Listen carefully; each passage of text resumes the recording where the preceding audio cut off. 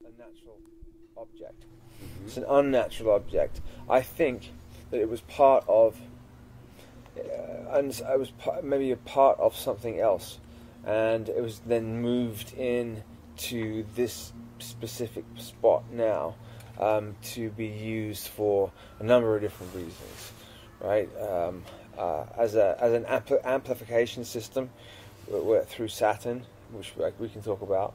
Um, and I, but I, I believe main. I think there's multiple bases on the moon. There's multiple Nazi bases on the moon. There's multiple Draco bases on the moon. They they seem they seem to be able to get on. Um, the, the the Fourth Reich and the the Dracos uh, to some extent. They seem to be able to get on to some extent. Um, they there's the soul ca- there's the soul catching machine which is um, there, which is on the moon and which is and then uh, the, the amnesia. So you go through through the machine. Um, I sort of have a weird sort of feeling of remembering remembering it and remembering the feeling of it, and not what I'm wanting to pull away. I, I remember I Mhm. remember being uh, killed before. So, but uh, you don't get a full life review. You're supposed. It's everything is wrong with this whole system setup. You're supposed to have a life review. You're supposed to look if you're doing this th- Mhm. this way. Look at what you've done. Look at it. Uh, There's, there's no bad or good. There's no judgment. There's no judgment. Like look. You can ignore did that part. here. Now you're banished to here or banished to there because it's we're all here trying to learn and understand.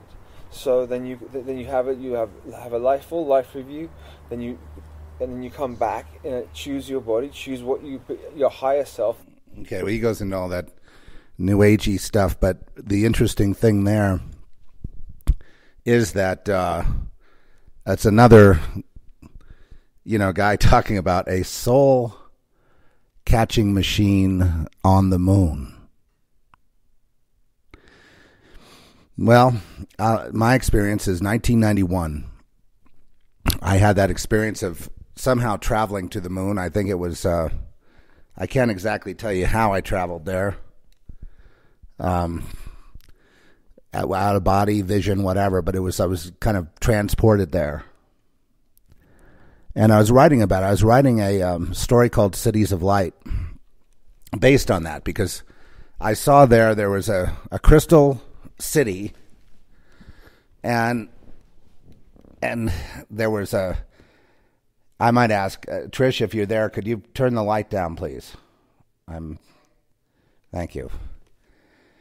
Uh, I, that's really glaring in my eye, so I have to. You know, this is kind of a heavy topic, but so I was writing about the nuclear bomb, and I was writing about Lucifer. I didn't know it at the time, but I was writing about Lucifer in the form of a character back in um, in World War II who was, you know, in the disguise of a roommate of this guy that was shell shocked in the war, and they sent him up to uh, up to somewhere in England, uh, like you know near, near Dover, near uh, the Cornish coast, or somewhere up there, and it was run by a. Uh, Catholic organization, and the head priest was a man named Father Barrett. This man's name was Blake. I forget his last name, but his roommate was named Joey Light. so, um, and it's all about how somehow this, the progression of this character Blake from that in being in a kind of a Catholic-run mental hospital after he discovers there that um, the priest and the, the you know various other people are doing satanic rituals in the basement. Now, mind you, this is 1991. 1991. And they're in the basement, and it's the, you know, the, the rituals, and then the, then Joey starts revealing himself and and flipping Blake out. Blake is going nuts, and uh, I suppose I named him after William Blake, perhaps. And he's going crazy, and then they appear in another dimension. There's other alternate dimensions there in that particular property. And in one, he's strung up on a cross in hell. and there's all these hellish things going on around him, and he's on the being crucified. And Joey says, "Come on, that's for fools. Come with me."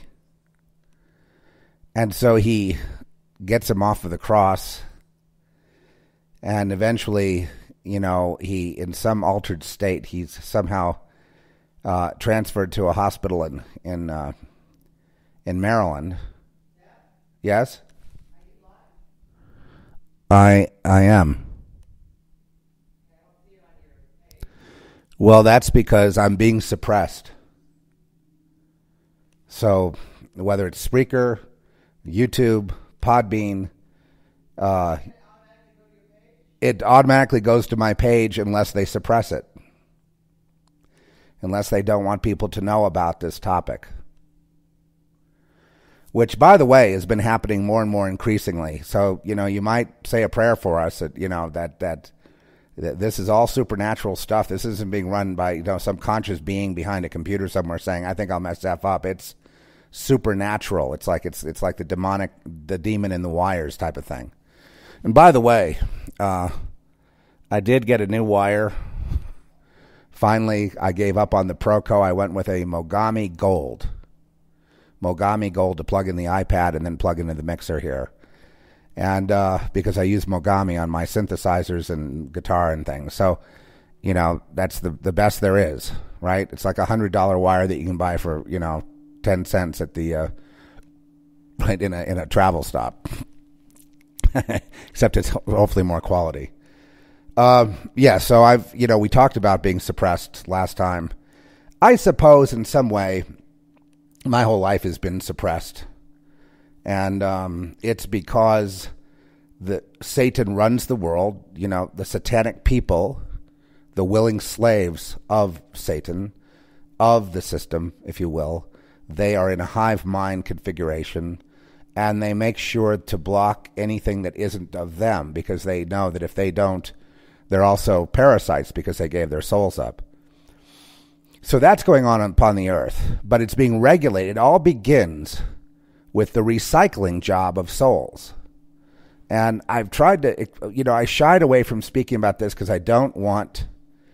There's people that are, you know, friends I have that are Christian and very fundamental fundamentalist, if you will, very, very much, if it's not in the Bible, it doesn't exist.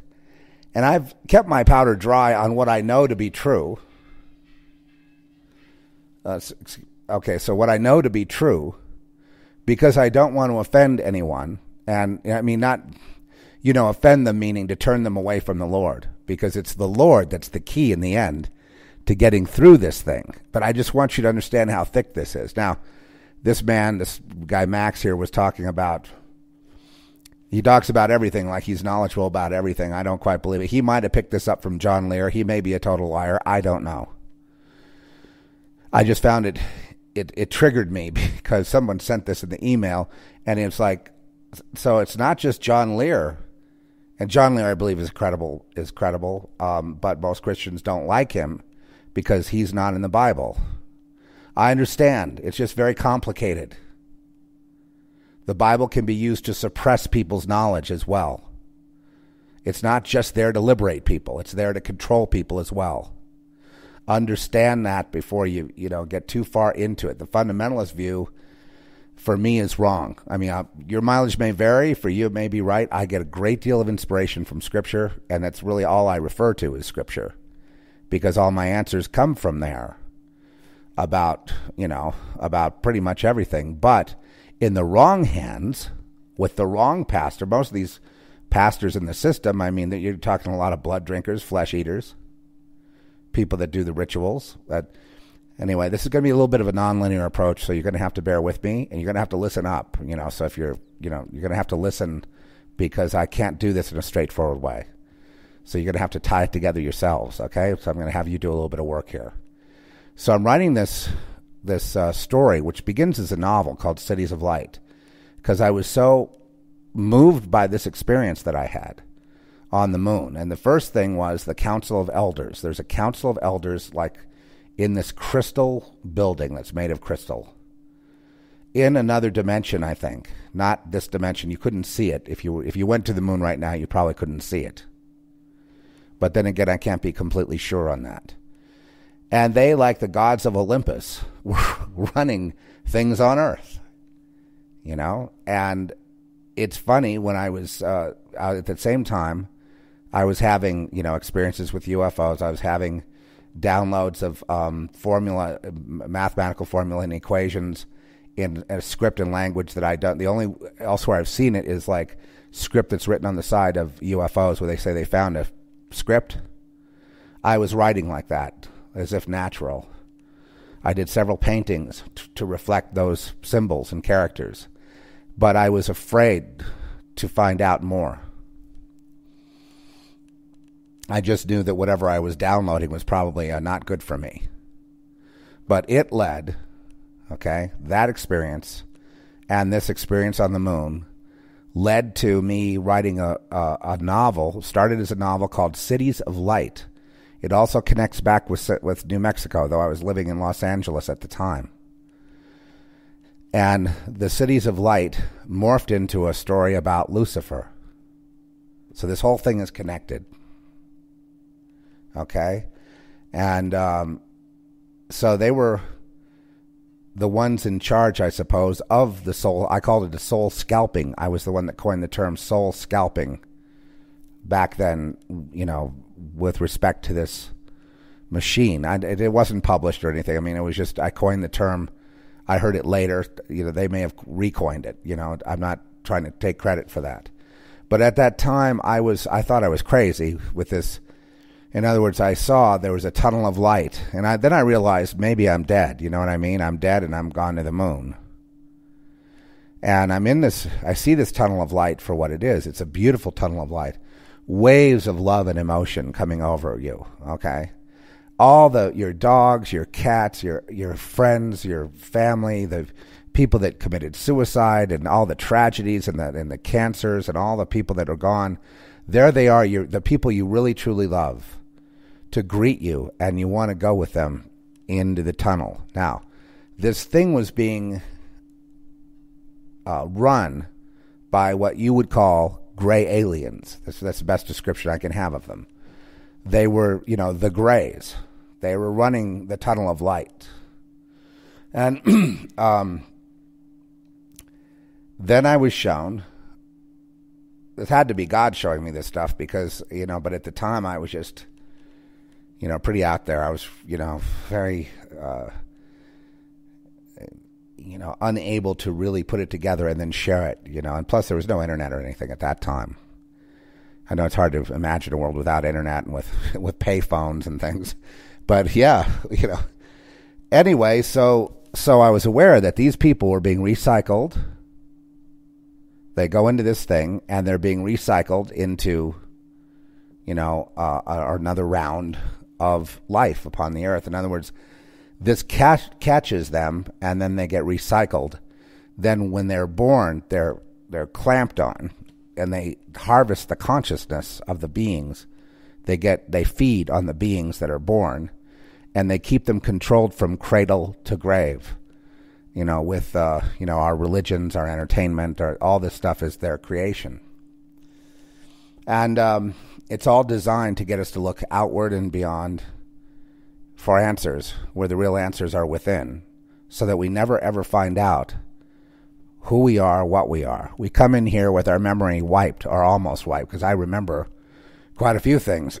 you know, for example, I know this is not my first rodeo. I don't, and I know a lot of things about other kinds of incarnation, like multiple incarnation, multidimensional incarnation, infinite incarnation. I know about being a co creator with God. I know about all these things. I know about spiritual warfare. I know about angelic warfare. I know exactly how to do it because I went up against the UFOs that were plaguing me and defeated them. And I don't know many people that can say that. This was out of my own knowledge, not in a book, not in the Bible. Not in, I just knew what to do. I had done it a million times before. This was not my first rodeo. Look where it's leading me. No one's talking to me about Jesus. No one's talking about anything. This is what this is how it's going. I'm doing paintings at the time. We have a we have a visitor. We have a gray alien coming into the bedroom. They're trying to abduct me out the window. Uh, scared to death with the black eyes looking right through me. Uh, that experience then triggered a memory of satanic ritual abuse in my family that was held next door uh, on, a, on a street we lived in in Los Angeles and orchestrated by the women, the sewing circle, and the children were there being indoctrinated by adult males having anal sex with the kids and oral sex, you know, with children that were, you know, maybe five or six years old. And the women are sitting there like, oh, um, like it's like they do it a million times a day. You know what I mean? Like it's it's just like cooking or doing laundry or or this. That was triggered from that alien. I confronted my mother about this, and she broke down, crying and screaming. In other words, you know, then then she put a face back on. I don't know what personality. Personality number thirty five point eight three seven then kicked in, and she we ne- there was never talked about again. But Trish was also a witness. I was living in sin with Trish at the time, so she was there in the bed with me when this thing came in, and I had to have her. I remember I couldn't go out to the kitchen to get a glass of water. I was scared to death. You see, the thing when it looks into you, when it goes into you like that, it triggers a fear that I think is on purpose.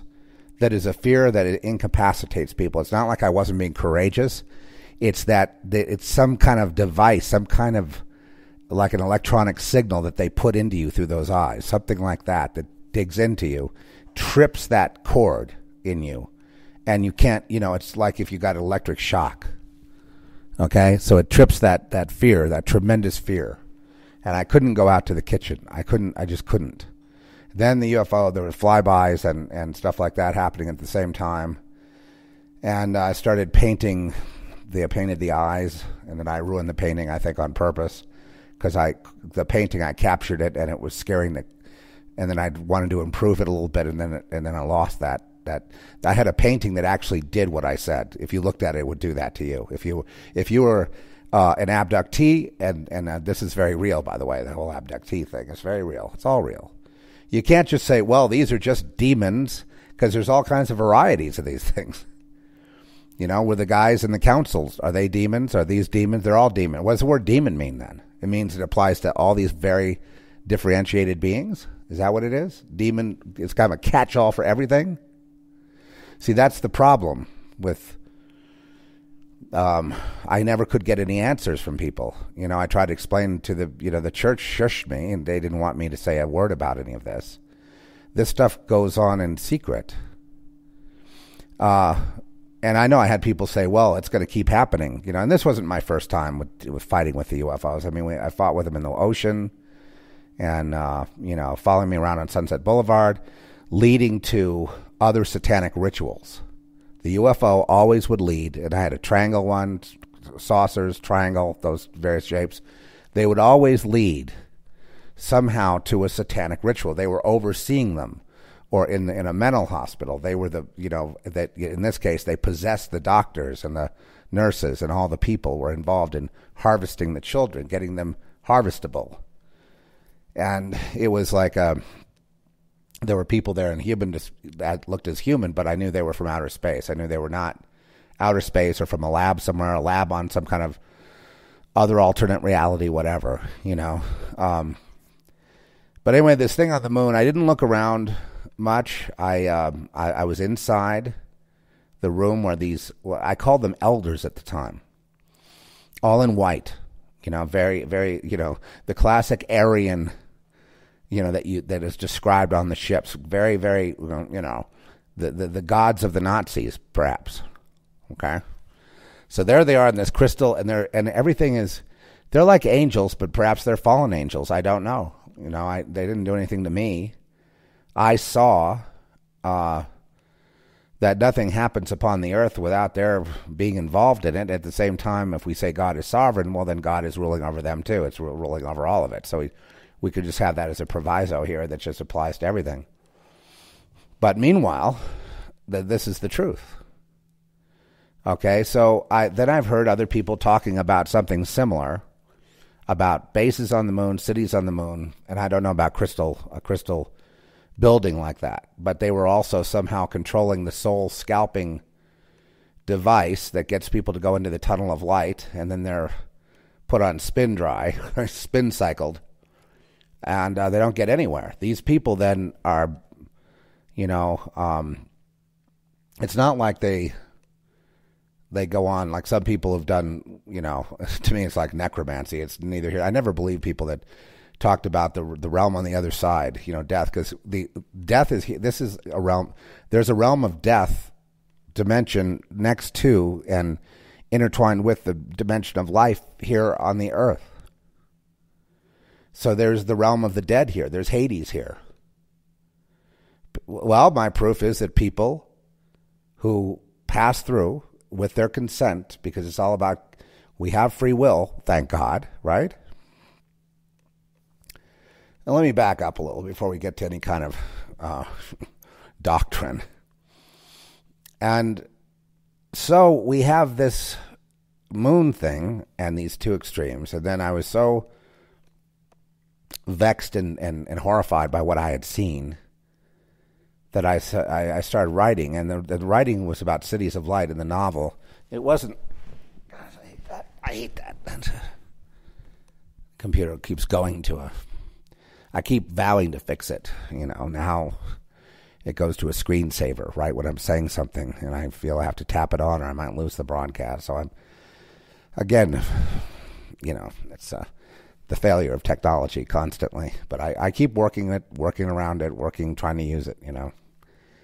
But it's all broken as far as I'm concerned. Anyway, so so then Earth, you know, is that led to writing this thing, Cities of Light, and it was really going to be about this this crystal city on the moon and these people that I saw there. Know, they were human looking, but they had all in white raiment, all white raiment, just like it says in the Bible, you know. And then, um, uh, you know, so I'm writing it, and then it it somehow the novel hits the wall. I couldn't go on and write another chapter of the novel, and it started turning into this screenplay. And it took on the form of a of a script and then in comes the character Joey Light. You see where this is all leading. And in comes the atom bomb and all these, you know, these Japanese Buddhist monks who all seem to have a premonition about this. There's something that really drew their attention about the bomb being dropped in Nagasaki and Hiroshima and the, um, the, the, the, the waves of light, the connection of that splitting of the atom with Lucifer himself in the form of this character Joey Light, who is taunting uh, Blake, who is shell shocked, now back in town and then back with his wife and back with everything. And I think he finds out that he really his father doesn't accept him, his his wife doesn't accept him. She's taken up with another man, and uh, and then all this stuff happens. I've, my memory is not quite clear. I have the the screenplay actually it's too good for Hollywood. It would be, um, you know, the best movie ever made. But so that's why they won't do it. Because it, be, it's like my 80th screenplay that I'd written, right? I'm so it's really honed and. I mean, look at the story elements. I would be there on day. I'd, I'd go see it five times, you know, already just knowing what's there. Uh, so anyway, so somehow he winds up in Mexico as a healer He's trying to get away from this Joey Light. He just hates this guy. The guy just keeps showing up. He's like a, a buddy in the in the army, but he keeps laughing and joking and taunting him that he can't escape. He cannot escape. Blake can't escape from this Joey Light. He just can't do it. And when he thinks he's on his own trying to get away and everything, it's all being somehow Joey Light keeps showing up. And and somehow he can't get away from the influence of, if you will, Satan who continues. So he becomes this kind of priest of a Mexican village, and he's got all these like he's he's built this entire altar with things like airplanes and and and and and uh, you know little trains and you know, it's like a big collage. And he has his son. And eventually the son comes down to Mexico to find him and says, What are you doing here? You become some weird, you know, out of your mind and the, the, the village. But the thing about it is, is he heals the children he heals everybody in the village. And so they love him because he heals, you know, and he's, this time he's an old man with a long hair and beard and, and the son wants to bring him back to rehabilitate him and all this. And then, you know, I'm missing like, you know, the whole middle of the story because I'm cutting to the end because I don't want to bore you and, and all that. And plus my memory doesn't, you know, I, I would have to refresh my memory on that screenplay. But anyway, um, so in the very end, uh, the denouement, I suppose you could call it, is you know the son, you know, obviously leaves in disgust, and they can't help him, and he's just going to be the shaman, right? The, the native, the village shaman, if you will, who doesn't look much different from a, an, an evil Santeria high priest, which I just saw in a movie yesterday.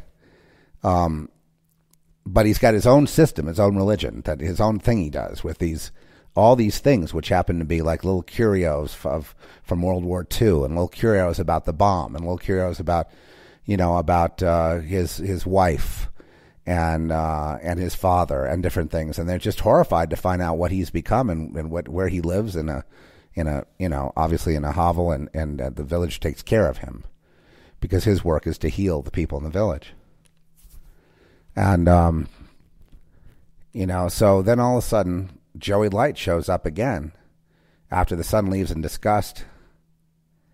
And he thinks he's been down there for 30, 40 years. He's been down there in that village healing people, and he got away from Joey Light. But Joey Light shows up again. And he says, and he always flips him the Ace of Spades card. He always flips him the Ace of Spades. That's his card. That's his calling card.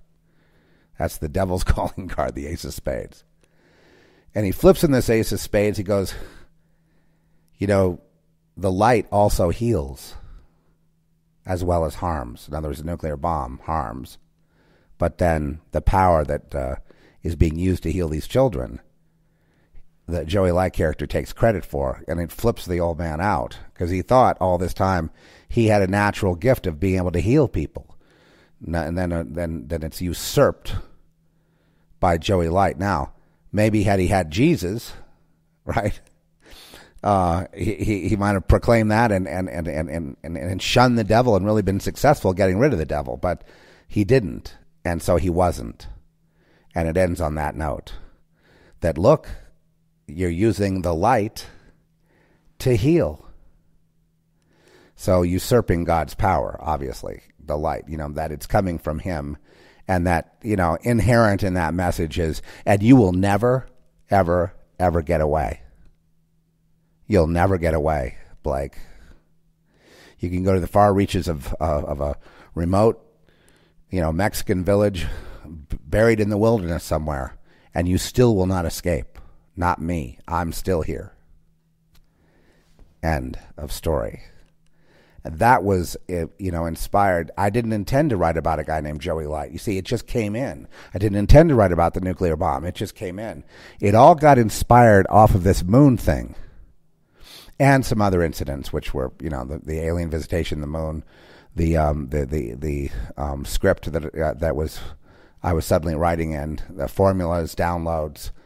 It was all very intense in this period. I'm not sure what exactly was going on or whatever. I just know that there was a. Eventually, I fought them, them, all of them, and was successful. I mean, there'd still be a flyover. Like every once in a while, there'd be a flyover, and I'd see a guy in this ship. I mean, this is how close the, the sightings were. I'd see it overhead, and then in the middle was like like you could lean over and see down through down to the ground, kind of thing, like through these windows, you know. So like looking over a rail and then down, and there's the ground. And you know, I know this sounds funny and ridiculous, and and and it, it, could it be fantasy? I suppose it could have just been an illusion that was given to me. You know, I mean, I've, I've nothing is. I'm not saying anything is in cement here, but they're looking over and they're laughing at me and pointing at me like I'm stuck on the ground, like I used to fly. I used to be, you know, I used to be something. I used to be able to do stuff. But look at me, stuck on the ground. Ah ha ha ha! Stuck, a, a stupid human stuck on the ground. Ah ha ha ha! you know, and now I know what the laughter is all about, having then kept on since 1991, kept on into the experience with the Lord, you know, and and Jesus, and seeing the power of the Almighty God deliver me from these people who claim that I would never get away from them. I would never be okay. Abductees were telling me, nope, if you've had this experience, you'll never get away from it it will keep plaguing you. Not after I beat the living you know what out of them. How did I know how to do that? Where did that power come from? I had it. I had it. I summoned it from whatever, from whatever my experience is. But I mean, you know, I they were throwing these these wheels into my head. The, the, they were like wheel brain bombs, if you will, from a ship, and then I I knew exactly what they were doing, so I threw them back, and I threw so many at them that finally the ship just disappeared, and they all left, and they all just went left at once, and it was gone. And then I did not get uh, any more of these abduction experiences. And everyone told me, they said, oh no, you're going to have to go talk to somebody. You're going to have to be hypnotized. You're going to have to go through and uncover all this stuff. And, uh, you know, you might never get away from it if they've if they if this is a generational thing. No, no, there you're you're not going to get out of it. Well, I did because I beat the living, you know what, out of them. It was done in another dimension. I don't know how I had the knowledge to do that, but this all all it was all kind of, you know, surrounding this moon thing, leading to my own recovery of a memory of trauma, satanic ritual abuse that had been buried, by the way, because I was like five years old, and um, then confirmed through Mommy Dearest, and and then I really realized that oh my God, and these people are are generational. Uh, what they do is if you're a lamb and you're talking out of school about this stuff, what they used to do is just kill you. You know what I mean? But everyone would cover it up. The police would cover it up. The the school uh, superintendent would cover it up, or rather, the principal. The uh, other kids would cover it. Everybody would participate in the cover up, worldwide, 365, 24 seven. That's the world you live in. Now I have a unique perspective because I've been in the world you live in, and seen exactly what world you live in. Uh, note the the track that uh, featured Kelly Rowley, which she did a fantastic job on. Uh, on you know, definitely the right choice as acting that part and then singing, you know, almost like almost like Mary Poppins at the end there when they finally um, reprogrammed her and they she finally. It could also be taken that she died, and they recycled her, and she was put into a life with of ribbons and rainbows and oh how nice, uh, you know, mission accomplished simulacra. I'm surprised, uh, you know, if if I were any kind of sci-fi guy or whatever, I would put that that that track in a movie so fast. But you know, I can't. You know, most of those people in Hollywood that make those decisions, they're all under complete, and I will, and now I will say it. You know, angelic, demonic, you know, fallen angel, you know, demonic control. They're, you know, because they don't let you play with the toys and play with the with the other children unless you, you know, are one of them. And the only way you could become one of them is if they make you into one of them, which means they put you to sleep, who you are, and they make you believe this is a real life you're having. So then they program you to go run after the rabbit. And the rabbit goes around and around, right? So you run around and around. And that's like 99% of the people out there are running after the rabbit. You know that, right? They're not even conscious. We're having a big awakening. No, we're not. Business is good. We're not. I watch the t- television. None of those people are awake. You know, any channel you want, they're all asleep. I see people acting out in the movies. The director, the writer, all the actors, the crew, they're all asleep. So why wouldn't everyone be? Unless you had experience like this or something that would open your eyes most people just like, you know, yeah, that's all nice, but I got to make a living. They're unconscious. Well, I knew there was a reason why that was all shown to me. Because I guess I had always been somebody, especially back then I was young, you know, and I, I was really intense. But the more I tried to explain to people what I was uncovering and discovering, the more they tuned me out the more it fell on deaf ears. I couldn't get anyone to listen to me about the soul scalping machine on the moon until one day, or maybe a few years later, John Lear said it. John Lear said it. I haven't heard his specifics on that. You know, I just read what, you know, kind of what he said. It's a little different, you know. I mean, um, you know, I incorporate the tunnel of light because that's what I saw. I saw the tunnel of light like everyone sees. and the people and all the you know memories coming to life of people you lost and whatever. And you get to go be with them and it's all waves of love. You've experienced nothing but intense love. You want to go into the light and the grays are orchestrating it. And you wind up back here only with amnesia that's all that's all part of it. I mean that's all that's the experience i had and that's the you know the and then there's this guy Max Spiers and he seems to talk about anything and everything from kind of a new agey perspective. Um, so i discount a lot of what he says because it seems like doctrine you know a lot of it's doctrine. But in terms of the structure of his story about the moon and the, the device there that controls the souls uh, it's dead on you know so you did he get that from John Lear and copy? I, he could have.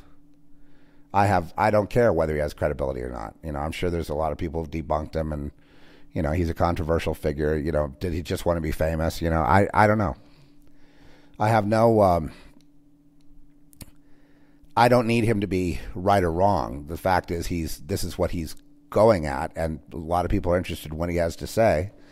So you know, um, the the fact that he said this he says he's been there and he's experienced it. Well, I, am the only one I know who's actually experienced it and, and lived to tell about it. So that he says he's he's died and gone through that thing a few times.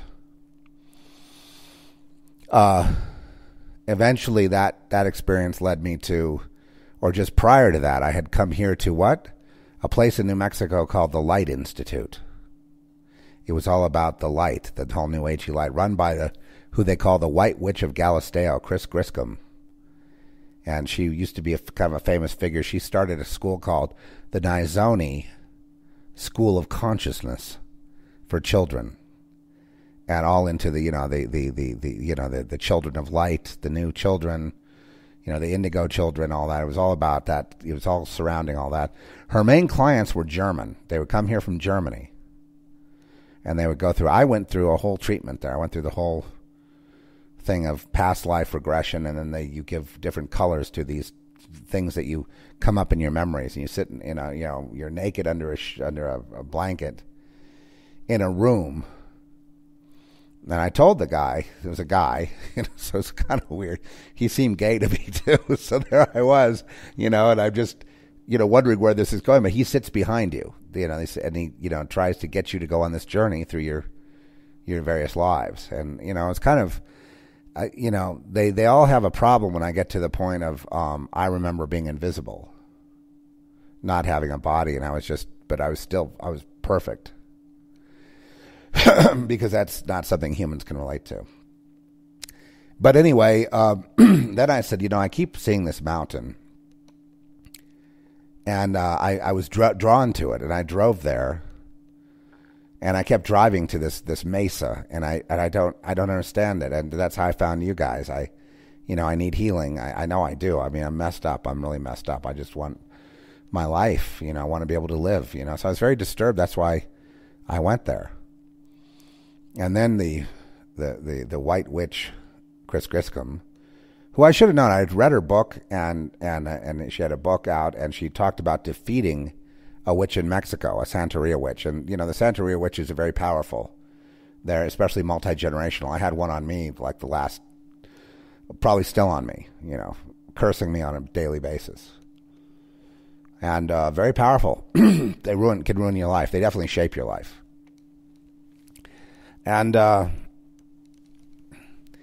so she went up against this major bruja in some Mexican village and she says she she was victorious because in witchcraft everything is about who wins and who loses, right?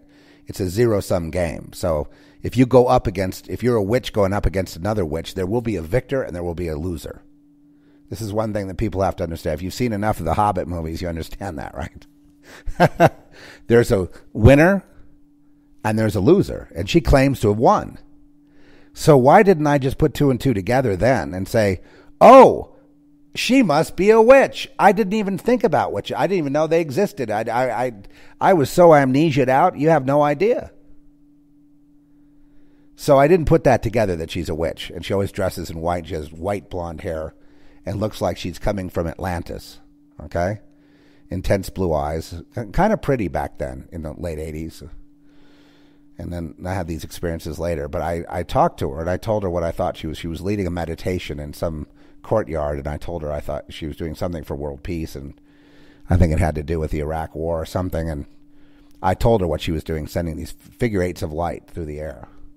I told her that, and then she started attacking me and criticizing me and you know laughing at me for living in Los Angeles, and you know she was very mean, and I was very you know nice. I wanted to.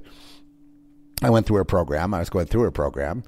Obviously, I wanted to have good regard for the head of it, but I, I was unfairly and out of the blue attacked. Well, now I understand why, because I am now what I was then, what I was when I was born, what I have always been. But they attack you, blindside you, without telling you why. They didn't tell me why. I was obviously a prodigal son. I had no business being there at the Light Institute. It's funny, I've seen her now as an old lady. Walking around, you know, she'll, she'll we used to live in a place. I hate this thing. It's, I have to keep touching the, leaning over to touch the pad because it goes to the screensaver. I know you can tell it not to. I understand. So, and then I've seen her, uh, and and she's still dressed in white, white cotton garments, and she said that the reason that she moved to Galisteo. Oh, oh, I didn't finish my story. I'm sorry, a little bit scattered. So I'm there. I say this mountain made me drive here. I drove here and I drove here, and I told you it was nonlinear. So I drove here and I drove here and I drove here. I kept I drove one time in the snow right to that mountain. In the snow. It's snowing and I'm standing there screaming at it and I'm crying and screaming. I don't know why I'm going there. I'm having the most bizarre experience with this mesa. And, you know, so I'm in the session with this guy, let's call him John. And he's, you know, and I kept, and so I was telling him while I was in this kind of trance state about this, and he goes, You mean the wave? and he blasts open the doors of this old territorial, you know, ter- territorial type architecture place we're in. He blasts open the doors and light comes streaming in. He goes, "You mean that? You mean that?" And out there was a, the perfect view of this mesa called Cerro Pelon, the wave. It looks like a wave breaking, right? And I said I'd gone out there and I found petroglyphs. I said, yes, that's it. It's like no matter where I move, no matter where I go, right out my window is that. And then that I know is a portal to outer space or something, to another dimension, to something.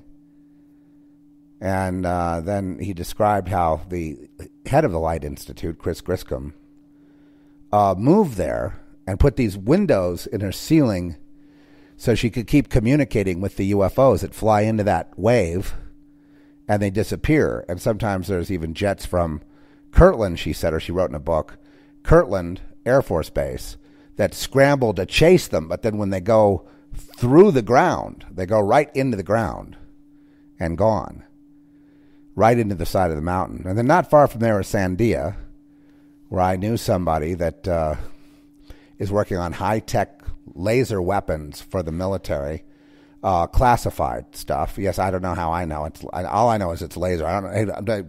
Hey, NSA, that's all I know. Okay, I don't know anything else about it. Just that that's what he was working on. He told me that much. It's not my fault. Except that these things make nuclear weapons look like a joke. so probably never seen one. You know, they could. They what they're working on now is they're they're working on trying to use them without getting detected that they have it. Right the classic ray gun, if you will. You know the ray gun from the 50s? That's coming. That's like the next thing, right? Shooting people with rays rather than bullets. Uh, but anyway, it does, you know, so, so Sandia's there, Kirtland Air Force Base, um, the, the Sandia Mountain, I guess, if you were to go from the Cerro Pelon, there's also a movie ranch there called the Cook Ranch, which is where they have filmed, uh, uh, you know, tons and tons of movies on that that ranch, including, I think, you know, things like Cowboys and Aliens, and you know, they they they they film around here. We live on a movie ranch. They film here twenty four seven. They film here all year long. There's nothing but this is Hollywood. It's unfortunate because I don't like it. I moved here to get away from all that, but then I wound up right in the middle of it again because now the production's way up. They get a thirty percent write off if they make a movie here. So you know you can always detect the Hollywood people when they're in town. you know, even the crew is arrogant, right? They're, they're like their noses in the air. You know, you can't touch this type of thing. It's it's disgusting. It's why I left L.A. You know, I, I don't need to see that here. I like real people, right? So anyway, um, so yeah, I said to the guy, I said, "Yeah, that's it. What what is that?" I said, "I've gone up there. I've seen these petroglyphs." He goes, "Yeah, there's petroglyphs of flying saucers. There's petroglyphs of them of star people, you know, people from another dimension, you know, and all that that they're painting on those petroglyphs. Since that time, they they roped it off with barbed wire so you can put warning signs there that if you have to go over a fence, right, to get up onto this razorback kind of ridge thing, that's not exactly it overlooks that mesa, right? But then there's petroglyphs there. And uh, so they all told me to go look at those, and I went and I saw them and I had the uh, deep experience looking into the valley. There's like the wave on one side, there's that, and then there's an Indian kiva, a place of ritual, way at the end of that wave thing, and then there's the Cook Movie Ranch. As I'm looking, I could see the interaction between the Anasazi who made those petroglyphs and um, and the and the aliens, if you will. Like maybe they took them somewhere. They just, like the Maya and like many other civilizations, they just disappeared but we even find pottery shards even here where I live here, you know, occasionally that. And I found a huge Anasazi uh, spate, you know, a thing that you work in the garden to break the earth up like a little shovel type thing in form of a big arrowhead. And it looked like it was made yesterday. It was buried, you know, but when it rains, it uncovers things like that. And there was this New Age priest who was visiting me. I know. It's like the same vibe, the same energy as that whole experience I had. And here he is visiting here because he wants to get me. You know, he wants me to join him somehow. He wants to, you know, initiate me, indoctrinate me. Some he's coming as a like, you know, uh, just to because he says we're friends and and we know the same guy in L.A. and you know, so he's visiting here. So I gave it to him, and the Indians went nuts. I mean, you know, they they live in another dimension. You know, there's like the ones that are dead and passed on. They're not. They're they're right here. Many of them, and they attacked him. I knew this would happen because I saw in the spirit, and I go into the spirit a lot. and I don't tell you. You know what I mean? But maybe I should. So in the spirit, I saw they were just like he had this van. He and his wife were traveling in and he was heading back to Canada, and you know they were they were attacking him. I mean, attacking and arrows through the thing, and just just attack, attack, attack. I mean, he was getting. It was like I didn't know if he'd make it home. And then he said he had these terrible experiences, you know, on the way back. I mean, absolutely awful. And he thought I was doing it, but I was I was just visioning it. I wasn't doing anything. I was watching it because he was so. Remember that guy? Yeah. And. uh and he was so adamant about, you know, they, they defiled my, my tabernacle of Yahweh. I made a little 12 foot by 12 foot, I don't know how high it is, little area for prayer. Okay, that you would call it the tabernacle of Yahweh. It's really just a kind of a jacal, you know, that you could find a little shade for your horses or whatever. But it has a uh, a brick on sand floor and some rocks around, and you enter in, and there's a couple of chairs there. Very uncomfortable though. I mean, it's easier to sit on the ledge there and just you have a view of the best view in the whole property. Remember they they called that uh, guy and they said I was your handler. Yeah, they called they called a guy and and but I mean he was like going back to 1991. He was like you know about the moon and then he we talking about the sylphs right and then one point I actually you know kind of saw that when these things would show up, these kind of clouds would show up, the chemtrails would be gone. So I, I don't know what to say about it, but he was telling me that the sylphs were lovely creatures. They're conscious beings, and the earth is a conscious being, and everything is a conscious being. So he's like that. And then he goes up to my tabernacle of Yah, right, for the Lord. That's the first thing I did because he kind of gave us this property. He settled us here. We'd never been settled. We've been gypsies pretty much, Trish and I. And um, he went up there and worshiped the sun. I can't believe it. He said he had to see the sunrise. So he went up there with his wife and started worshiping the sun. and I had to, you know, really repent. I, I don't know. I, he found me. I didn't want him to come here, but we did his laundry for him. You know, they were on the road sleeping in the van, and that had to be uncomfortable. You know, I'm in a small RV, and I know even that I feel like I need more room. You know what I mean? Eventually, it gets on your nerves. So, uh, but, he was in this van, you know, and, and like I said, he was attacked, and he mentioned that he was terribly attacked. Okay, Dashishi. He mentioned he was terribly attacked, and, but he took that thing with him. And I said, look, the reason you're being attacked is because you took that shovel, that that that that you know that uh, triangular um, tool of the Anasazi that somehow was preserved perfectly for all this time. And what you're supposed to do with those things to avoid being cursed, to have, not have the Indian curse on you, right? Is you take it to the elders. There, there's places, there's ways of, of you know, you're supposed to keep it here, or even just even better, just walk away. Put it under very reverently. Put it under some because if you mess with stuff here, I'm telling you, God help you. Okay, God help you. These beings are real. They punched me. They've done all kinds of things. I, I was in this other dimension, you know, talking to all the people at the site of a massacre where they're all killed, and they cursed the ground. They're there to curse people trying to move into this house. I tried to explain that to people. They, when I was early Zeph Report, they just ran me through the coals like how blasphemous that was. I'm saying, but it's it really happened, and no one believed me.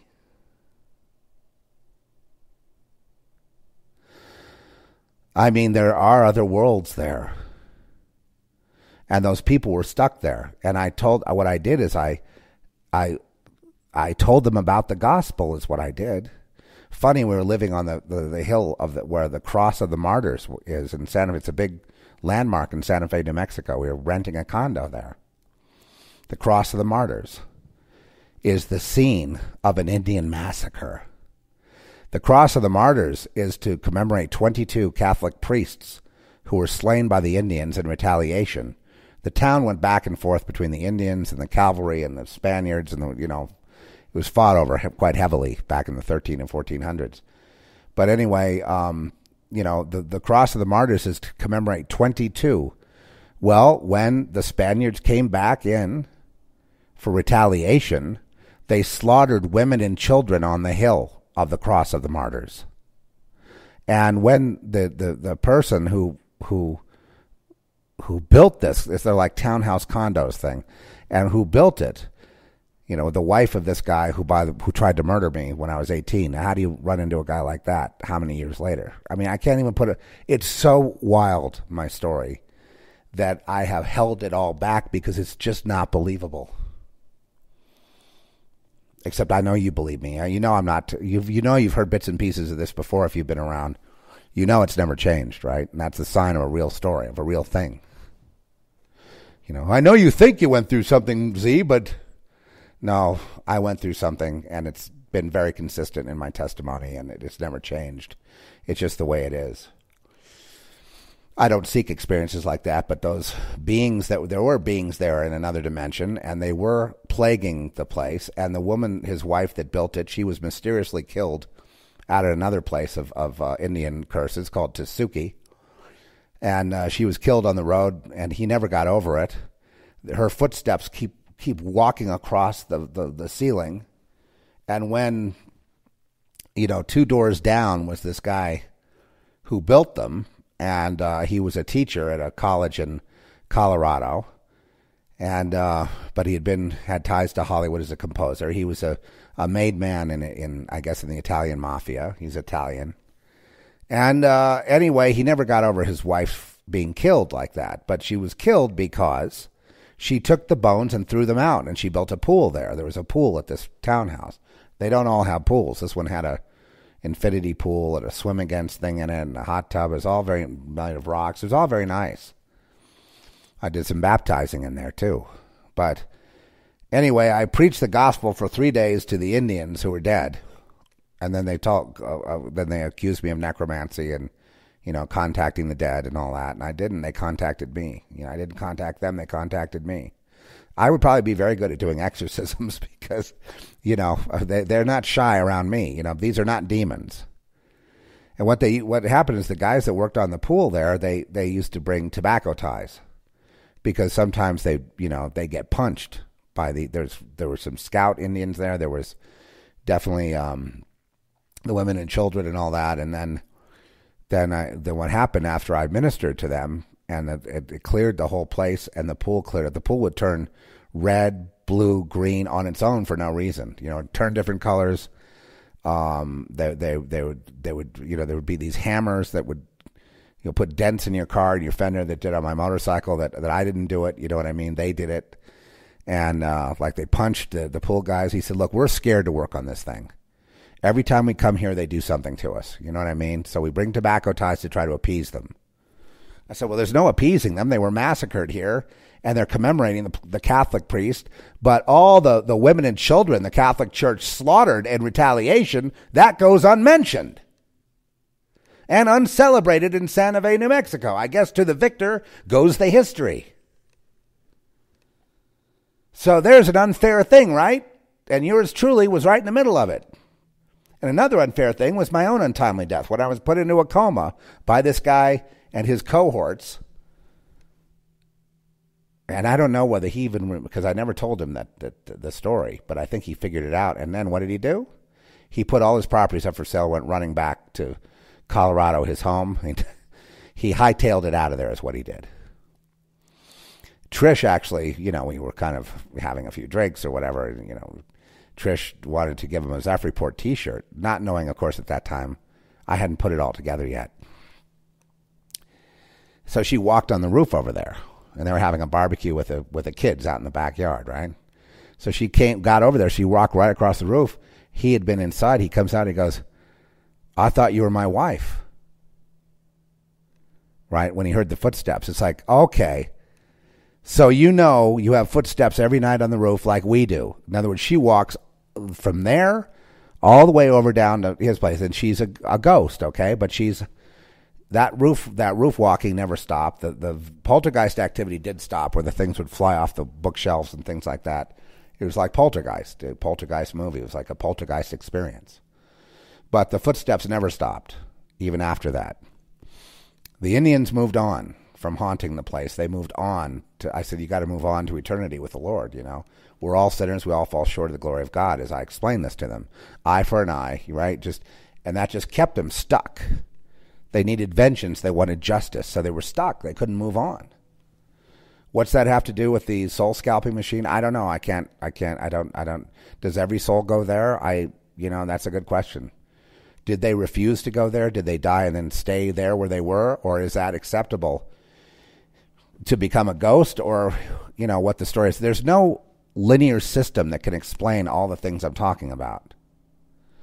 You know i mean? There's no linear system that can connect the indian massacre exactly with the moon. The pool would turn colors. Trisha's reminding me. Anyway here's what happened with the pool guy.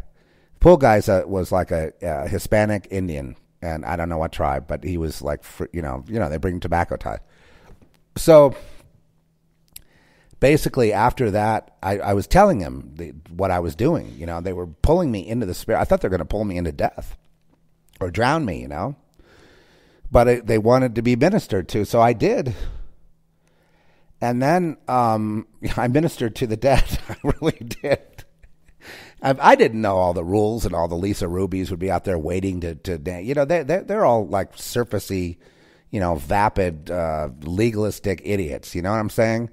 They wouldn't know the spirit if it bit them on the ass. All they know is just textual knowledge. They don't know any anything about the spiritual realm, anything about the multidimensionality, anything about the, the moon and the cosmos. They don't know any. They're actually totally ignorant, these people. So I don't care what they say about me. Now I don't care. I did then uh, because I was surprised. I was just saying, hey, I was really earnestly relating this. Well, anyway, what happened with the pool guy is he brought his kids. He brought his kids for me to baptize in the pool that was now clean because he couldn't believe the miracle he had seen. So I baptized them. How do you like that? Pretty lousy story, huh? I'm so blasphemous. He wouldn't have been there unless the pool cleared up. It stopped turning colors. They were no longer hit. Their car, their fl- flat tires, all the stuff that would happen stopped. All that supernatural stuff stopped. All the getting punched, punched in the gut, punched in the head, punched in the arm, it all stopped. The need for tobacco ties stopped.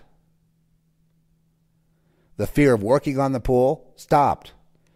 He was so blown away at the power of God to clear that situation up because it was all in Jesus' name that he brought his kids to be baptized. At the same time, I'm running into my assassin two doors down that built the damn place we're renting. You can't make this up. You can't. You you couldn't. I, I've been a fiction writer. You know what I mean? I know how to spin a tale, how to make stuff up. You no fiction writer in the world could make. You just can't make, make up, especially when it's again linear in the spirit, but nonlinear at using our language. But I'm painting such pictures as you can put it all together, right? And it should give you hope that number one, you greetings in the name of the Most High. I don't think I greeted you properly. Greetings in the name of the Most High. The Most High is my friend. The Lord Jesus is the Most High. He is my friend. I have all kinds of problems in the flesh, all kinds of limitations, all kinds of sin, all kinds of where I fall short and all that, just like you, just like anyone else. But I have these uncanny abilities to I think why I was so good at fiction and poetry and things, and of course that putting together the you know we're putting together a whole thing about the ocean and being underwater. You know, I, I can't seem to get, but it's going to be done movie style because a lot of people like it when I. No, I mean I can mix movies. You know, I I definitely have shown you that. I've done it before. You know what I mean? So I've I you know I have that in my skill set. I got that in my wheelhouse, as they say. I love doing that mix of sound effects, music, dialogue, and I like doing a kind of a theater of the mind thing, you know, which I did with Kelly on that uh, simulacra, which she really brought her game on that one. she did that perfect. That was exactly what I was looking for as a producer, just exactly that thing. And when you hear it today, it sounds perfect, isn't it? Like it just was. It's like that song was just done yesterday. It makes more sense today than it did a year and a half ago or whenever it came out. And it, it ties all this together, what we're talking about. And it even ties into the Mandela effect, which is nothing more or less than, you know, the bleed through of dimensions, the bleed through of different things, the shifting of things. The, the, the memory is also a dimension, thoughts are a dimension. Um, you know, when you're taken somewhere uh, out of body, let's say, or you know, you think you're going in your spirit, or you know, something of you is going there to the moon. I do believe I went there, so it must have been an out of body experience. Um, but again, none of this stuff is, you know, when we start tying it down to human logic, that's where we blow the story. That's where we become liars. And I'm so I'm not going to do that with you. Uh, you know, if I said that the souls are recycled there, I say yeah. And then I guess it doesn't include people that are stuck or this whole thing I found in the pool. I don't know. You know that I'm gonna I'm gonna leave that contradiction alone. I don't have to answer that. There's many things that are contradictory here and not contradictory there. Suffice to say, the beings here on earth are here to either A, choose God, or B, choose death. It, no, you don't. Nobody chooses Satan. You choose death. When you pass through to the other side, break on through to the other side. Yeah. When you break on through to the other side, you become what? A dead man. Hello, dead man. Oh, hello, dead man. Yes, dead man. Are you awake? Wakey, wakey, dead man. So that's the realm of the dead, and that is another dimension. It looks just like this one, but I assure you, these people and me, I and them, are not on the same page. We are not in the same dimension. We may have to cooperate and, and use each other from time to time and try to be civil and all that, and we do, but we are not from the same place. Where you come from? Well, I don't come from where you come from, but you know, I guess that's what we got to deal with. Hey, we're at war, baby. That's right. Humans are not here for their own pleasure. Humans are here. And they're here to be harvested as food. And that's the only purpose they really have, and that's why they're recycled. What's harvested is consciousness, the human consciousness, in the image likeness of God, so a, a piece of God, if you will, can then be used to create whatever they want to create. It's a way of usurping God's power through the human so they can do their own thing. yeah, so that's where all the UFOs and the, the machine on the moon and the crystal cities and the Nazis, you know, both here and on Mars and the moon and wherever else they are, all this stuff ties together into one whole gestalt of existence, existence l'existence, a piece de resistance. Yeah. So it all ties together, you know, in a nonlinear way. The human needs to understand that they want that from you for a reason, a raison d'etre. The reason that you live is the reason you go through the tunnel of light I guess not everyone has that experience. I mean, you know, with me, I uh, don't anticipate any tunnel of light because I go with my Lord. The same with you, I think. You know what I mean? I don't want to go there. I've already seen through it. I'm warning other people, like I did uh, on. Uh, uh, I was with Art Bell on the Art Bell show that one time, and I did talk about this.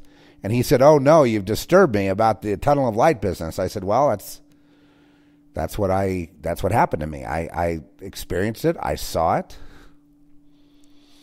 and I saw the result of it. You wind up right back here. And I used to say this, but around the Christians, I started pulling my my punches. So I didn't, you know, say reincarnation, but it is a recycling.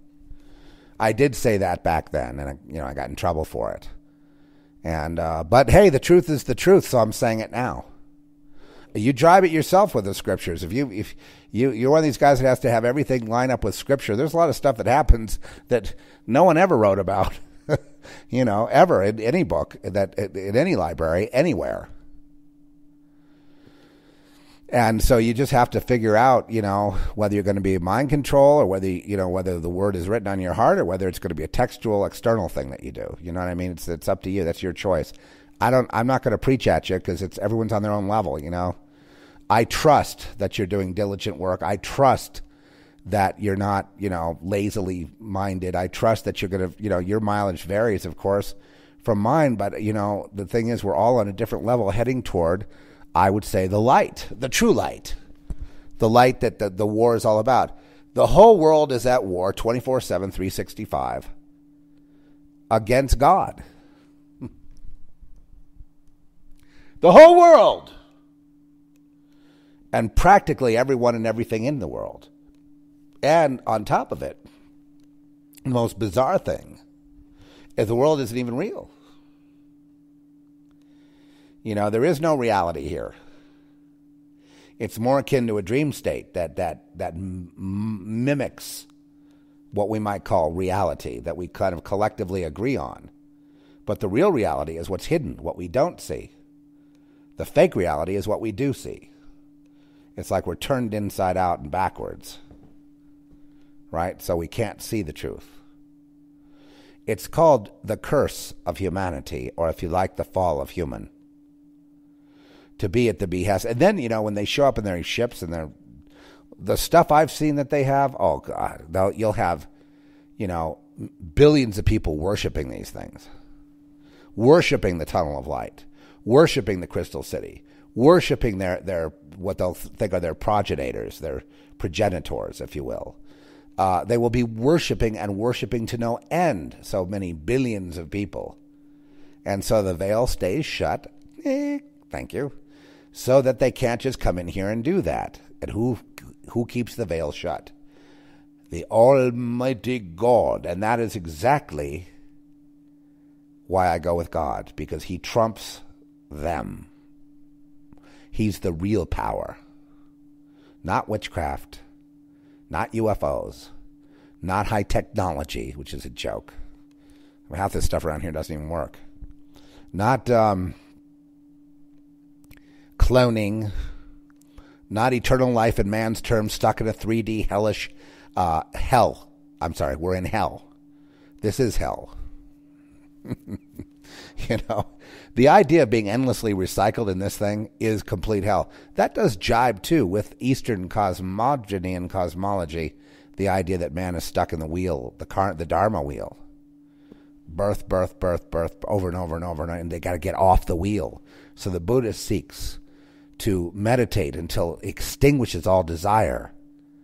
You know, just extinguishes all of it until there's no pull left in going into death, so that the Buddhist can die without desire, so he will not be reincarnated into the world because the world is suffering. What's the what's the first tenet of Buddhism, folks? What's the first tenet of Buddhism? All life is suffering. What does the Bible say about suffering? To be a, a conscious being alive on earth, what did Jesus do? He suffered. What do the people of Christ do? We suffer, right? Because the doors are slammed in your face. You don't, are not given the same opportunity, you're not treated the same. This is the age of Christian persecution. You might have noticed. It's finally come to America.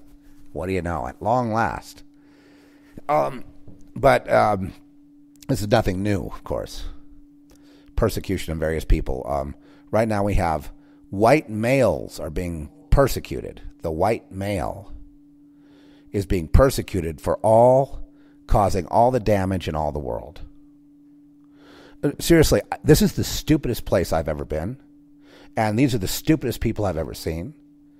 And I'd actually rather just play among the stars and hang out with these so-called advanced beings, but they they're kind of you know puppets too. You know, they wind up singing the praises of the, uh, the, the, of the of the fallen one. So it's like ah, I can't do that because I got you beat there, buddy. You know,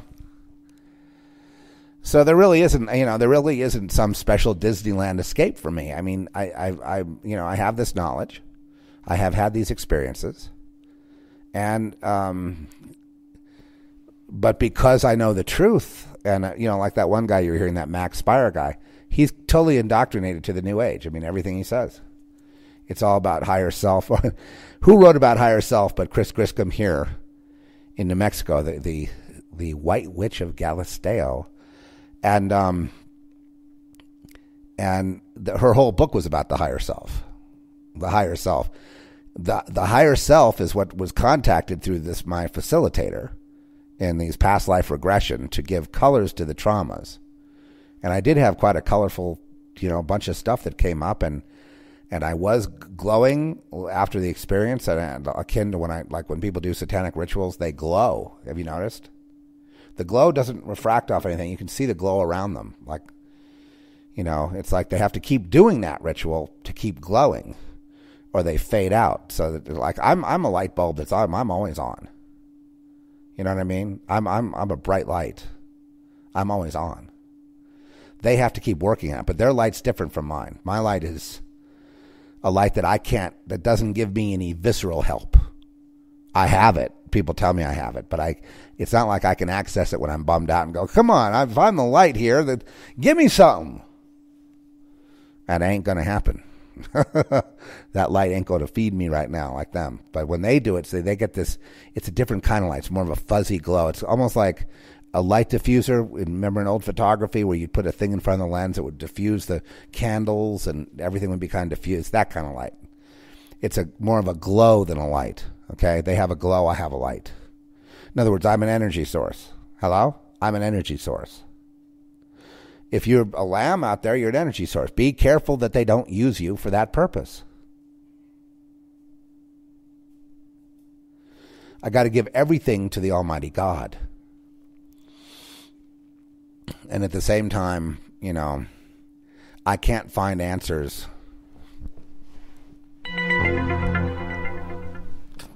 What the hell was that? There was an. Did you hear that?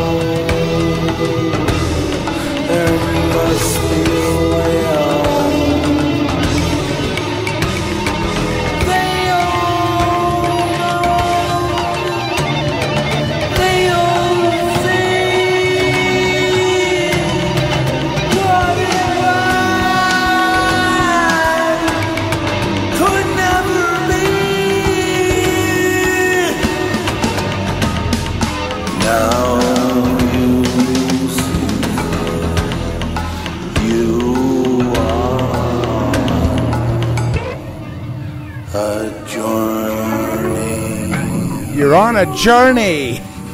Exactly. You're on a journey. You're not at the same place day to day.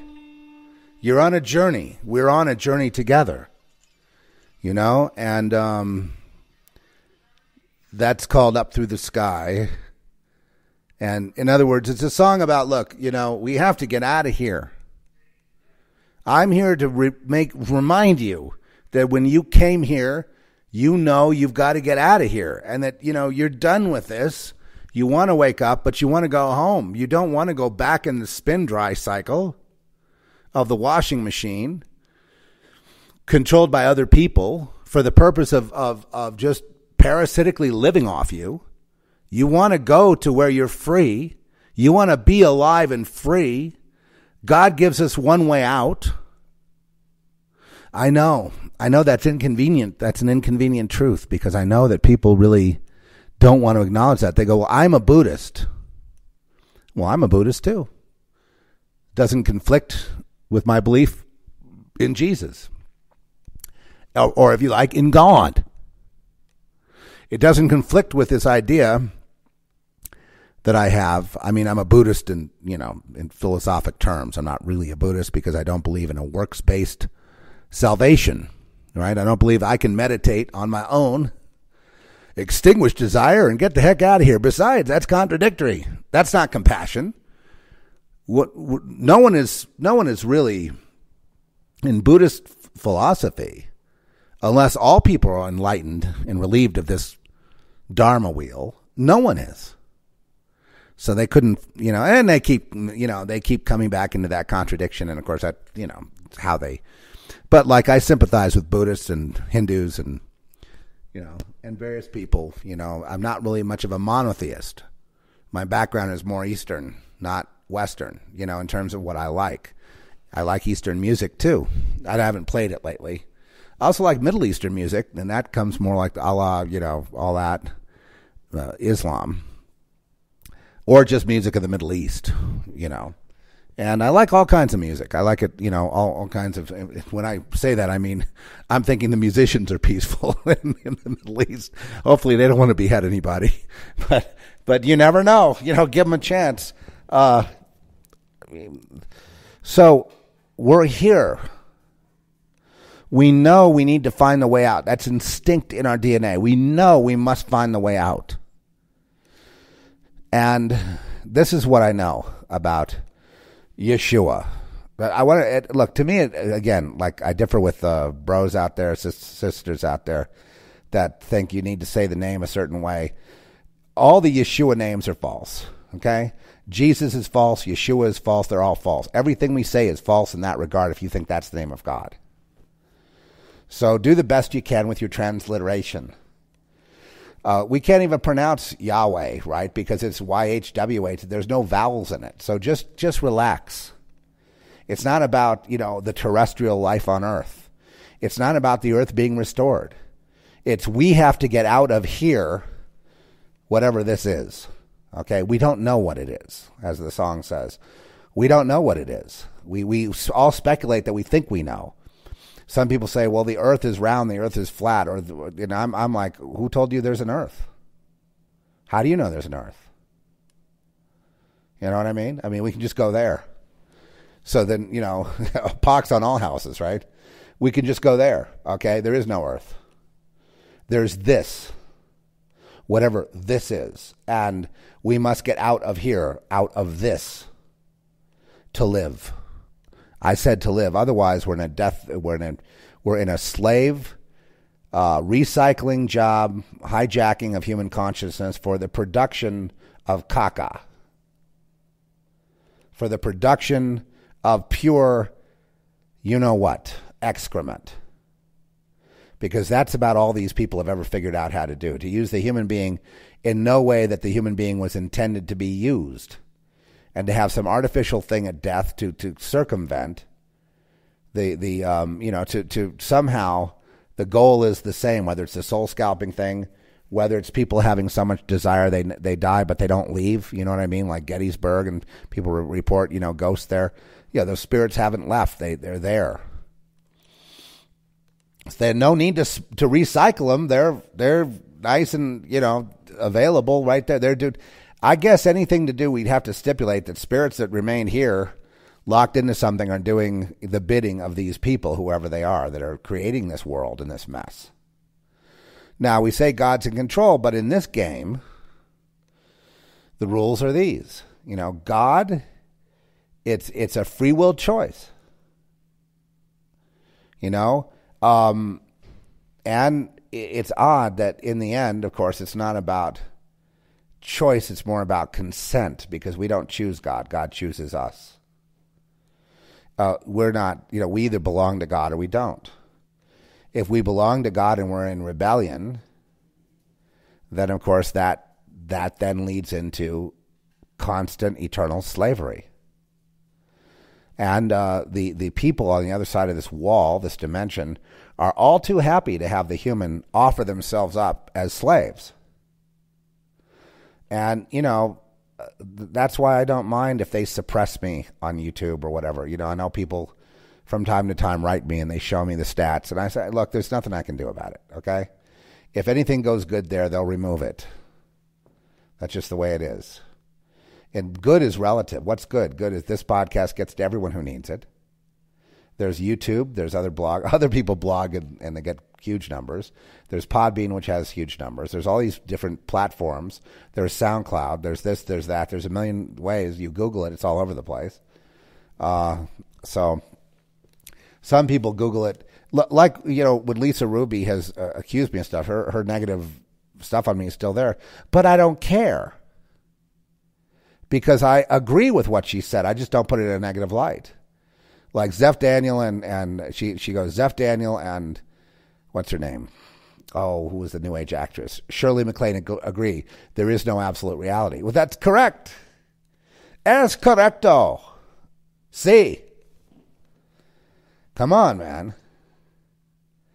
I mean, you want to call Disneyland real? That's your problem. You know, those of us who have seen through it understand better. We this this place it's here. Yes, God is having us go through it because here we have a chance to get back home, but it's a very narrow path called Jesus, the true light.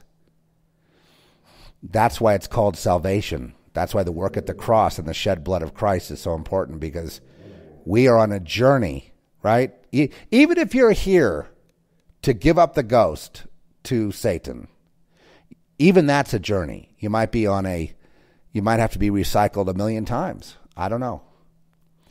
Even the recycling thing is still also an illusion in a sense. You know what I mean? It's still part of a dream, right? even that has no real relevance other than it's an interesting story about how they develop technology to trap souls to keep souls here. But they also, you know, there's reports about people being put in souls in boxes and carrying them around and trading them like trading cards, right? We're aware of all that. The Bible talks about trading the souls of men in the book of Revelation. And so we're very, very keen on this this idea that the soul is a commodity that is worth a lot to them. It's everything to them. The humans they wouldn't you know what? They wouldn't even exist without the human soul at this point. In the end, everything is reconciled to the Father anyway. The only thing that has life are the children of the Almighty Yah. Other than that, you know. But you say, well, all these systems on the earth and nature and all that. Yes, don't just enjoy nature, but let's not worship it, shall we? I mean, don't go up to my tabernacle and start worshiping the sun. That's a total insult to me. Worship the sun, S O N, not the sun, S U N. And by all means, you know, and by all measures and by all of your ability, please do not make Saturn into. I, I cut the guy off when we started talking about Saturn. I'm I'm sick of Saturn. Don't make that into a god, please. And they did in, in you know what Greek mythology they called Saturn Kronos and stuff like that. Don't do that. Time is an illusion. Forget time. Don't do those things. Put the focus on the Lord. And look, here's what the Lord has us doing. Simple things, you know. Now, had I not ministered, and that really was in a ministerial capacity, to the all those beings at the at the site of the Indian massacre, a site that was um, desecrated by this woman who then paid with her life, and the assassin, her husband. You can't make this up. The result is clear. They went with the Lord Jesus Christ. He was there to take them, and they went with him. The pool changed the pool men were, hor- were were almost traumatized by it. One of them brought the kids to be baptized because he saw what happened. Are you going to tell me that that experience is phony? Because no, no, you'd be in good stead. That's what the church did. That's what Lisa Ruby did. Who represents, you know, the complete vapid Christian, right? The completely mind controlled MK Ultra Christian. You know, they believe in what they can see and hear and touch and what the pastor says. They don't have anything beyond that. That's it. That's the that's the extent of their spirituality. That is sad, but again, that is they've chosen that. They've chosen to be satanic Christians. Satanism meaning materialistic. When you're materialistic, you are satanic. Right? If you care, I, I mean, I like using material things. I, I have a synthesizer. I'm going to take some video of that and share that with you. It's a, it's a module. It's modular. It's um, you know what I mean. It's just kind of a box, and you twist the knobs. And it's got a, such a nice sound, and, and I did have a track now that's out to uh, Micah, the guitar player. He's going to put some some some some uh, guitar with it, but uh, it's just all all that synth and and uh, it's nice to have a, a box that somebody labored over the various sounds and and things, you know, as opposed to just having a VST, a plugin or whatever. The plugins are very good, Serum and Omnisphere and stuff. Those are phenomenal, you know what I mean? But they still don't replace the analog synth, you know, the the box. It's got wood trim on it. It's just I like it. I like it like I like an old telephone, you know, an analog telephone. I like, you know, you you have to dial it, you know. I like that. I call me, you know, uh see ever since the CD came out, I feel I've been, you know, taking it up the you know what for, for, for, you know, this is all the aliens, this stuff, all this digitizing everything, quantum computing. This all comes from, you know, the fallen angels, right? So I'm kind of tuning out an AI, yeah, AI. All of that, you know, that is about slavery and getting control of human. Con- Why do you think they're, they, they wanted billions of people for a while? Because they were linking all the people together in the hive as a quantum computer. Now they're able to do it artificially without the human. So now they're like, yeah, let's get rid of those evil humans because God's awful. And yet, if it weren't for God, they wouldn't breathe another breath. God is what beats the heartbeats because of God. The blood flows through the veins and feeds the body because of God. The DNA is also sacred because it is of God. God sustains everything in the world that's, that you see the waterfall, the stream, the rain cycles, the people, the animals. God is, you know, behind it all. But man, of course, has free will. And, you know, the people that have the free will today have decided that uh, to destroy humanity and destroy the earth while they're on the board of the EPA how you get that double double thing going. That's that's uh, that's that's purely genius. That's pure genius. Double double is not something I can do. I get duped by it quite constantly. You know, the very person that comes as the savior is killing you. You know, and uh, so it, I'm kind of done with this. You know, And so we're going to have more talks about these dimensions because, and I believe that um, as long as I'm not so you know, as long as I'm a little bit sensitized, you know what I mean, and not just anesthetized, I can, you know, I have, God can show me many things. Unless I'm so concerned with the things of the world that uh, my prayers are constantly worldly. And I'm aware out there, there are people out there that need help. There are people out there that need, you know, all kinds of things. And we pray for them, and we're here eh, to do what we can. But you know, ultimately, the Lord wants hearts and minds.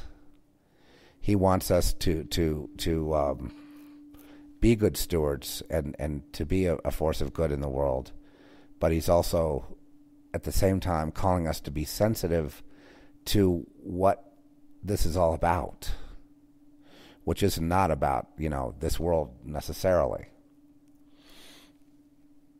So I would hope that you would. Uh,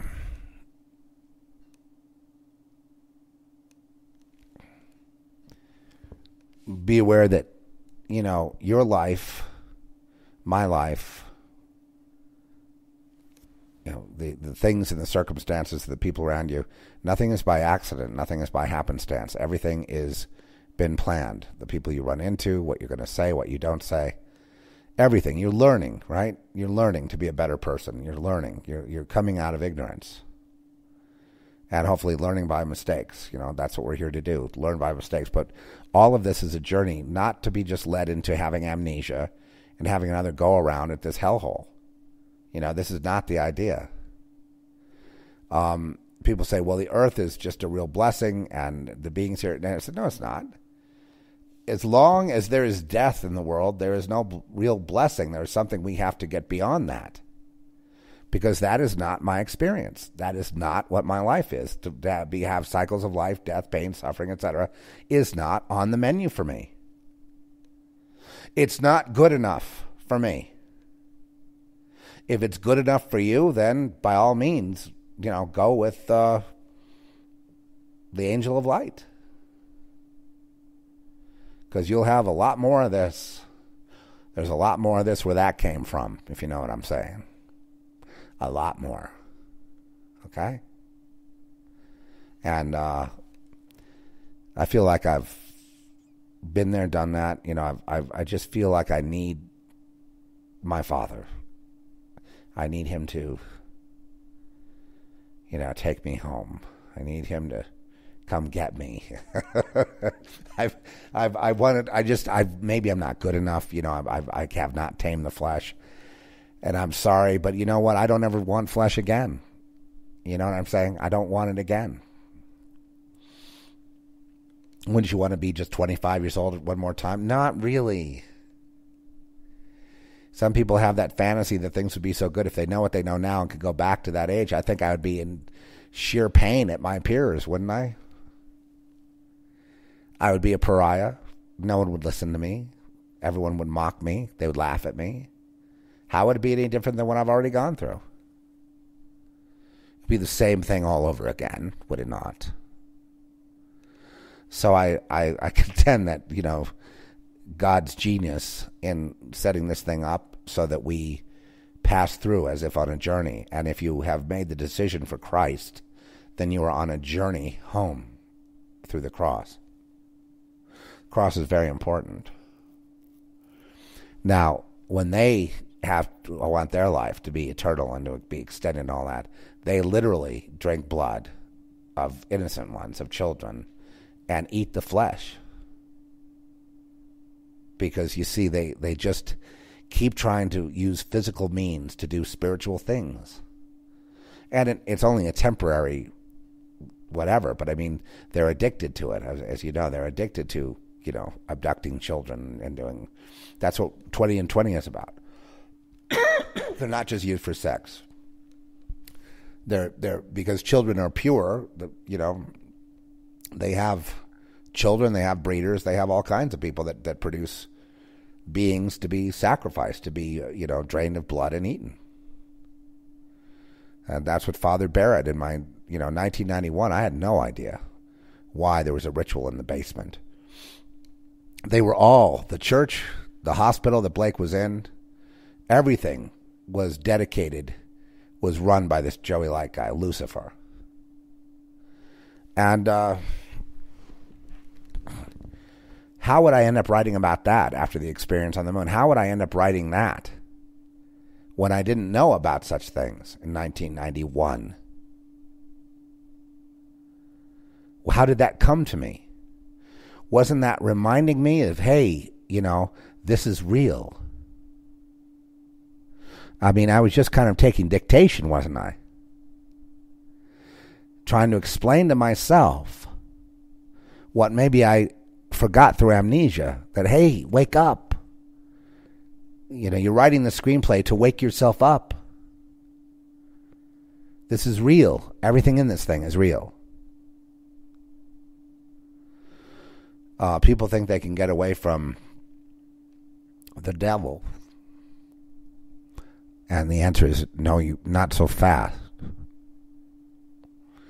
Because intertwined with that is, you know, that's right. The satanic powers can be used for good or evil. It's just called power. So, why does God allow that? I don't know. You ask Him. I would be foolish to, to, to, to say there's nothing like that going on. And most Christians should be prepared for battle on that front. Um, the book of Ephesians is very clear in chapter 6 that this whole thing is about. Really, the whole thing is is just the sojourn is to God, unceasing prayer, uh, unwavering devotion, and you know, to do your best here on earth to to be you know to to become the person of Christ if you can and to change your consciousness. But you know, most of us are are, are battling and slogging through this molasses of existence, this morass of, of, of, of, stopping and stifling and suppressing and holding back and unable to get and, and, and depression and bad feelings and suffering and hard to do anything when you're pinned down like that. And uh, it's just ain't it a bitch, you know? It's just it's just you know when you compare it to flying, when you compare it to unlimited creativity, when you compare it to you know what we had before we lost it or how we got here or whatever this is. I'd like to smash the whole thing the moon, the earth, all of it. Just get rid of it all.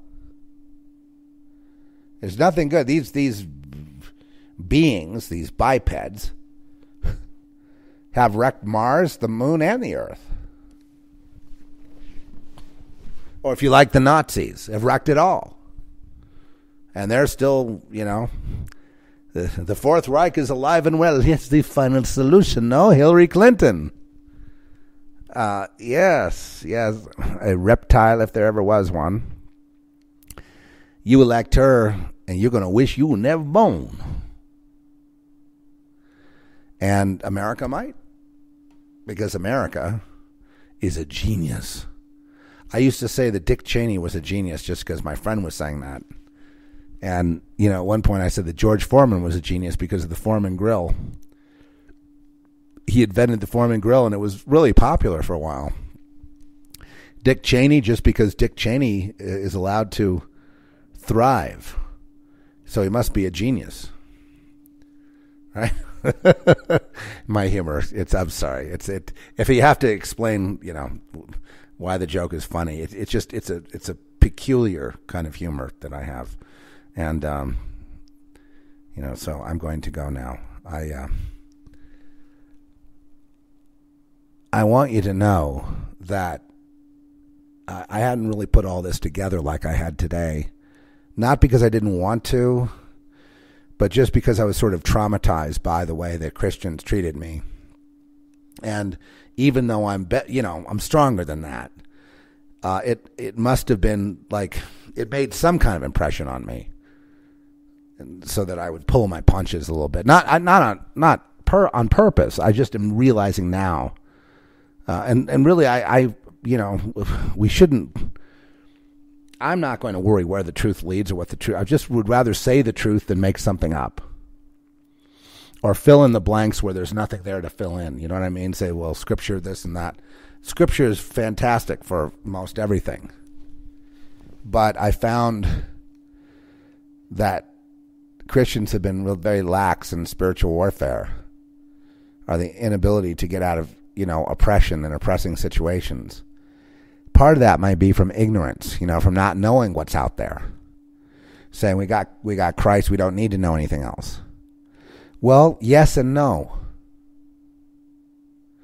You know, I know one thing that churches I've attended, if you said that let's say that you have a sibling that died and you talk to that sibling, they're going to tell you and they're going to get in your face and mind control you and brainwash you to make you think you never talked to that person, it was all demonic and there's no there there and to shut the F up. And after enough of that treatment, you are completely brainwashed, which is the purpose of the church. So there's no real help there, in my opinion. Uh, they're not consciously trying to hurt people. They think they're a force of good in the world. I mean, they could kill you and think, you know, they could kill a lamb of God and think they're doing God service, you know, getting rid of all the uh, reprobates. So I understand the conundrum we're in. We're in a conundrum, you know, and I don't I don't want to be, you know, I'm not that negative on the church. I mean, I've got lots of friends that go to church and I think that's fine.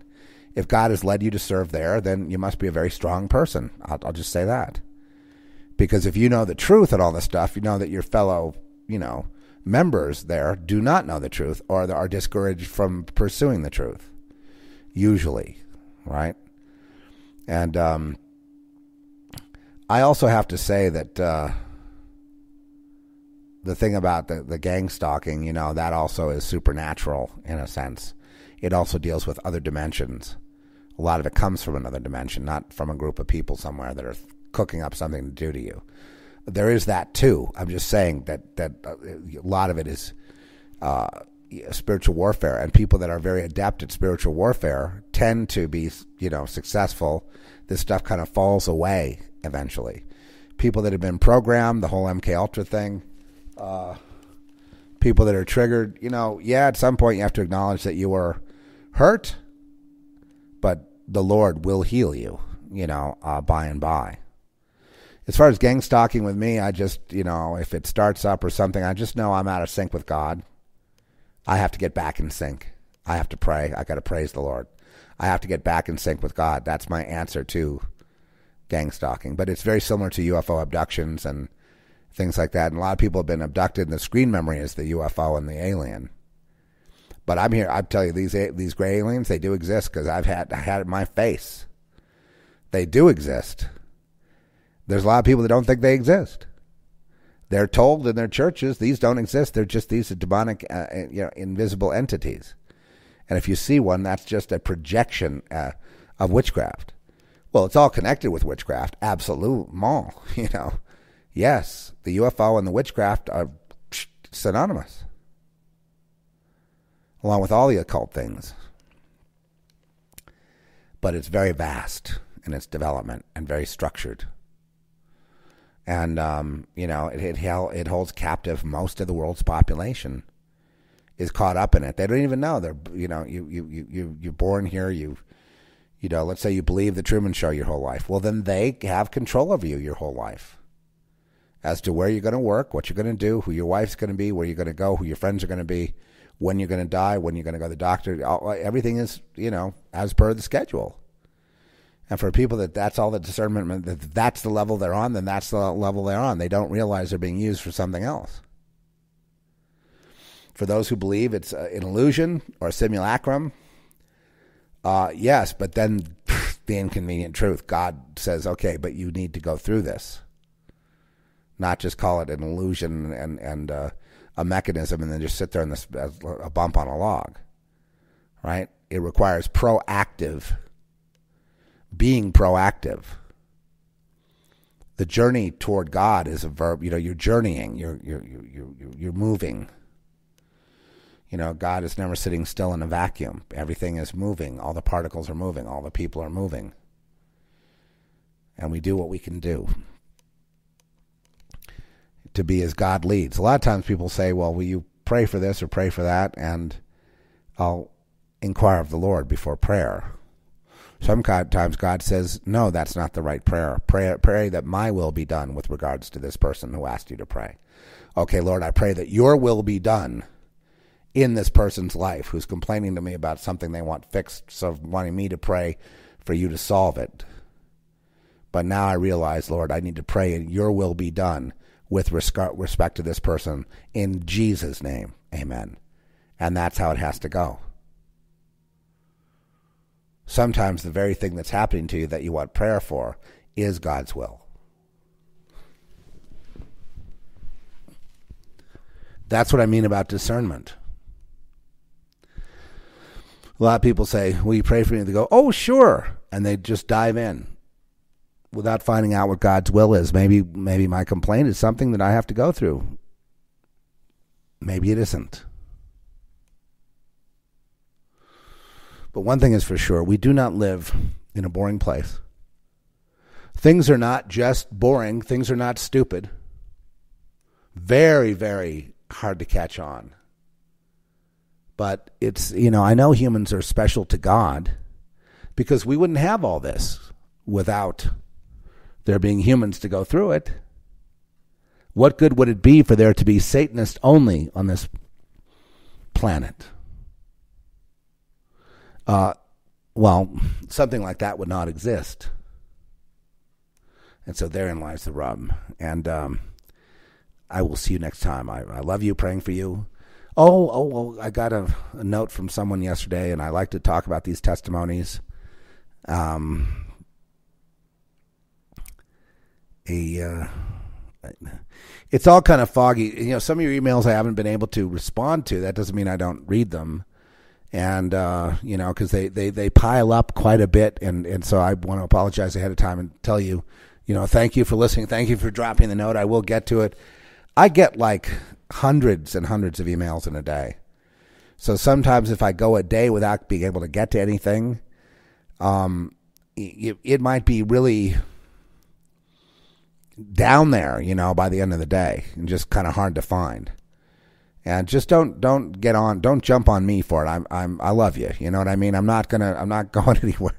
I'm just, you know, you're. You, I didn't ignore you. You know what I mean. It just it's it just gets to be, uh, hard for me. It's also, you know, not to complain, but you know, my eyesight is it's I'm I'm um, challenged in being able to read uh, emails. You know, unless I have my certain device, I'm a certain you know bit away from it. That's what happens when people age. You know, things happen like that. And uh, I am, you know, so so please forgive me, and I'm going to try to get to all of them that I can find. But one person wrote me, and I'm going to paraphrase. I'm not going to say it literally.